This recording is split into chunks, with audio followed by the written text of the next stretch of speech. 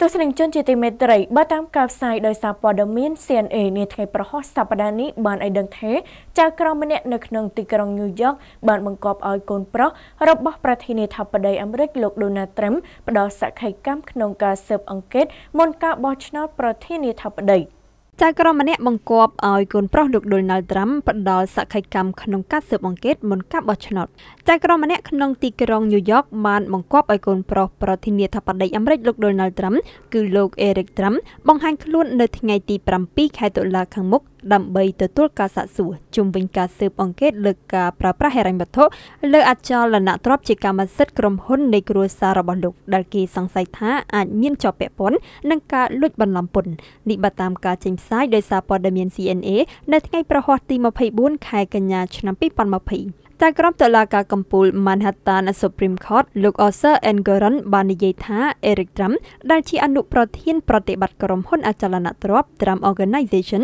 មិនមានហេតុផលគ្រប់គ្រាន់ដើម្បីពន្យាពេលការបង្ហាញខ្លួននៅឯការិយាល័យរដ្ឋអាជ្ញាក្រុងញូវយ៉កលោកស្រី Letitia James រហូតដល់ក្រោយការបោះឆ្នោតប្រធានាធិបតីអាមេរិកនៅថ្ងៃទី3ខែវិច្ឆិកាខាងមុខនេះនោះទេ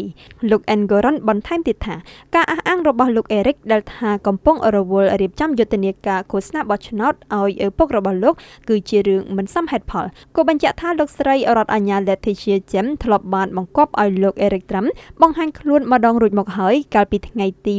26ខែឧសភាហើយការស្នើឲ្យលោកដាក់ឯកសារមួយចំនួនកាលពីថ្ងៃទី22ខែកក្កដាត្រូវបានលុបចោលដោយសារតែលោក Eric ផ្លាស់ប្ដូរក្រមមន្ត្រីច្បាប់របស់លោកមេធាវីរបស់លោកមានបំណងពន្យាពេលការសាកសួរនេះរហូតដល់ថ្ងៃទី19ខែវិច្ឆិកាឬក៏យូរជាងនេះ